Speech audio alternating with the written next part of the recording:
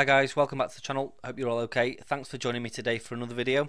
This is a look inside the Retevis RT97 repeater. A lot of people in the comments on the last couple of videos have asked to see inside it, so I thought we'd open it up today and show you what's inside.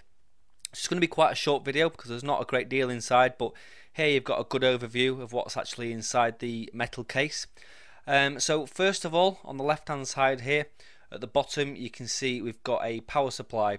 So this this takes the power from the plug on the side and distributes it through to the radio and also to the little LCD screen on the front of the case.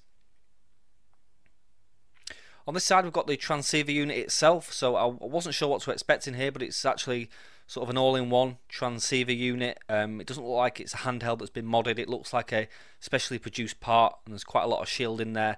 I'm not going to take that off um, because I don't want to mess anything up.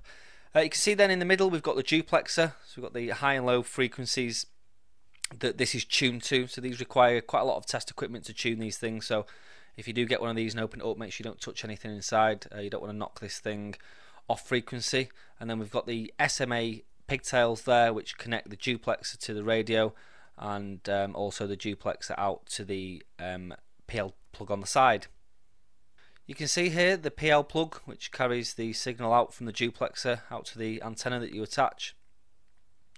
We've got a couple of bolts on the side which bolt the transceiver unit to the side of the chassis and then we've got the power connector on the left hand side there which uh, brings power into the power supply and then there's a long cable in the middle which takes power from the power supply up to the um, small LCD display on the top panel.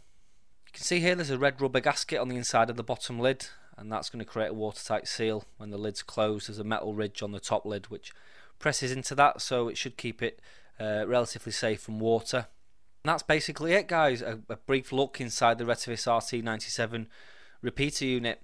Um, as I said in the previous videos, this thing um, puts out 10 watts with a 10 megahertz split. But I've done a review video on this and I've done a test video on this, which I'll link at the end and in the description. So make sure you check them out. And if you have any comments, suggestions, or questions, then drop them in the box below. If you enjoyed this video, give it a thumbs up. And if you haven't already subscribed, then make sure you hit the subscribe button. And we'll catch you in the next one. 7 3, guys. Thanks for watching.